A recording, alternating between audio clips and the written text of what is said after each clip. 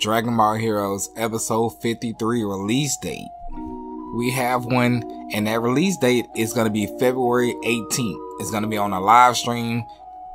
Now, the live stream is going to be down in the description below. I'm going to go ahead and upload the episode on the channel when it's released as well. The summary reads Majin Ozotto continues with the god hunting in various places.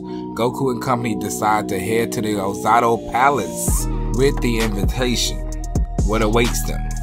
Leave a like if you're excited about this upcoming episode.